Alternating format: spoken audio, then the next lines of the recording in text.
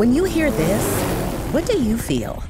At IMAX, you'll feel transported by our unique sound system and crystal clear images. Like you're running across a desert planet or defending your city from a surprise invasion. With immersive IMAX sound and screens curved to show more, we take fans to the edge of their seats. Get tickets to Dune Part 2 now and experience it in IMAX's exclusive expanded aspect ratio.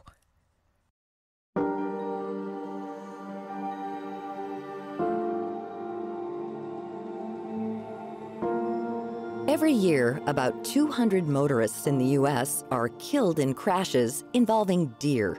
That's according to the Insurance Institute for Highway Safety. These fatal incidents often take place between October and December during mating season, when deer are more active.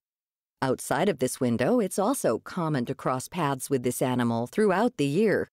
If you live in the suburbs, you may see a deer almost every day. While you might think of them as creatures of the forest, experts say this title is a bit outdated. From an ecological point of view, they are edge creatures. So, you know, ecologists call those ecotones zones where one habitat kind of meets another. So you might have a place where a forest meets a meadow or an open field. That's Erika Howsare, author of The Age of Deer, Trouble, and Kinship with Our Wild Neighbors. In our modern world, we have created many, many more edges by building roads. And in the suburbs, for example, there are just edges everywhere where you know there might be a little bit of woods where that meets a yard or a park power line cuts through the woods those are edges and they like those habitats because they tend to have a lot of kind of low growing bushy vegetation. And so that's where they find the most food. It's actually easier for them to find food in those places as compared with mature woods where most of the foliage is out of reach.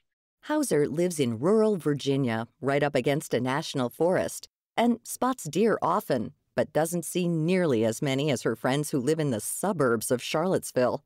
In general, especially white-tailed deer in the eastern US are very, just very, very adaptable. They're very able to put up with noise and traffic and all the other disturbances that humans bring to the environment. So, although we imagine them as sort of creatures of the deep, dark woods, they really aren't.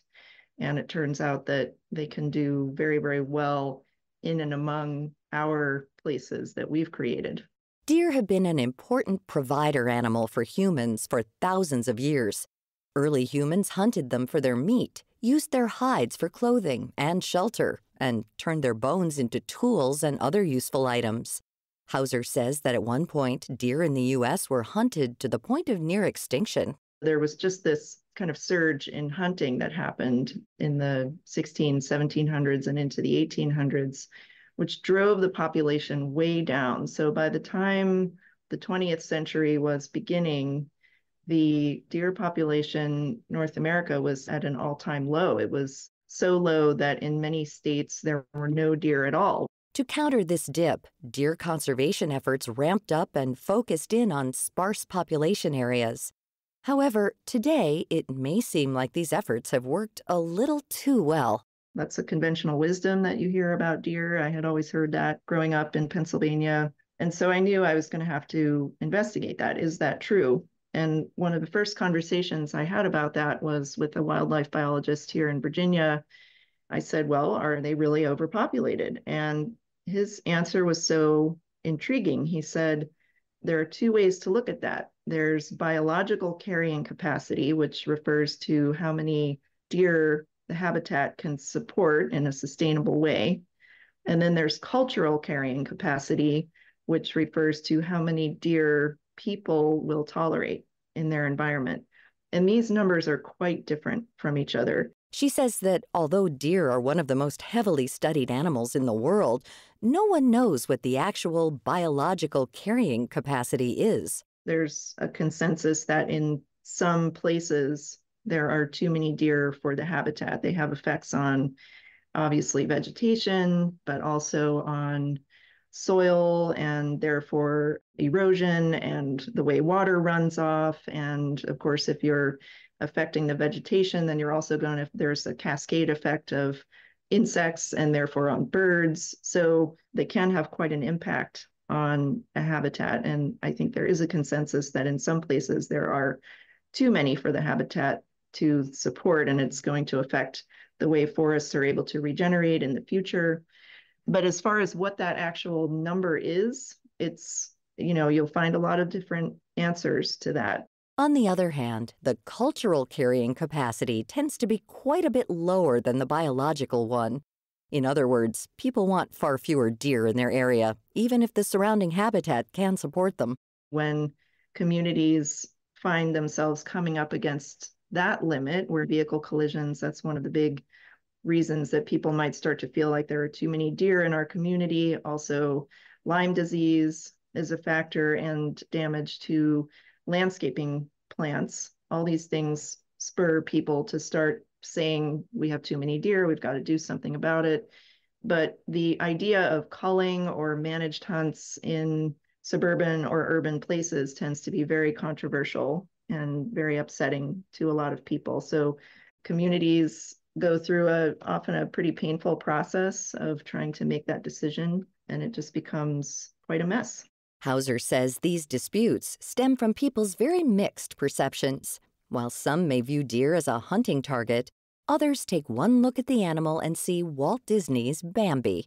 It's got to be one of the most influential films that is part of American culture because it really did set up this idea that the deer are and the other creatures are innocent and lovable and just trying to live their lives, and that hunters are evil murderers, basically. and As soon as that film came out, the hunting community knew that it was going to be a PR disaster for them, and they were right. Despite the public outcry from Bambi, deer hunting is still a huge industry here. One big part of the chase is to acquire this trophy piece. If you pick up a hunting magazine, you will get the impression that mostly what people are interested in is large antlers because they're just so emphasized in the media and in that part of the hunting culture. She says laws around hunting vary from state to state, as do questions of morality. For example, some hunters put out mineral supplements for deer to make their antlers grow larger. Others plant crops that will attract the animals to their backyard, which gives the hunter a convenient place to sit and simply wait for their prey to appear you could step over the state line and be, you know, go from a place where it's legal to bait deer to a place where it's not legal to bait deer. And these are the kind of ongoing debates in the hunting world, whether these things are okay to do or not. I feel for those officials who end up having to make the call, you know, often under a lot of public pressure, because I think ethically and morally, it's just a really, really tangled difficult issue. Erika Howsare's book, The Age of Deer, Trouble, and Kinship with Our Wild Neighbors, is available now online and in select bookstores. To find out more about this topic, head to viewpointsradio.org. This segment was written and produced by Polly Hanson. Our executive producer is Amira Zaveri. Our studio manager is Jason Dickey. I'm Marty Peterson.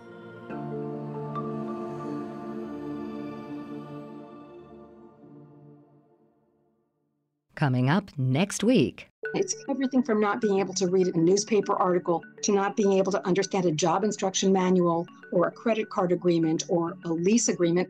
The long term effects of never learning how to properly read. Then, what they're basically telling us as a speaker and a listener is hold on, I need a lot of neural activation for this. The deeper meaning behind our uhs and ums. I'm Marty Peterson. And I'm Gary Price. These stories in depth on your public affairs magazine, Viewpoints.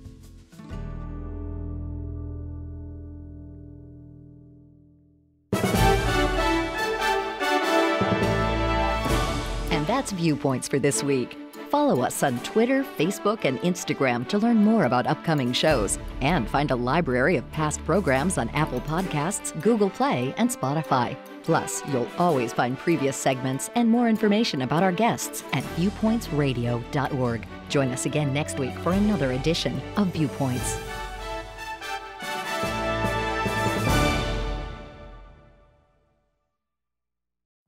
Every day, we rise, challenging ourselves to work for what we believe in. At U.S. Border Patrol, protecting our borders is more than a job, it's a calling. Agents answer the call, working together to keep our country and communities safe.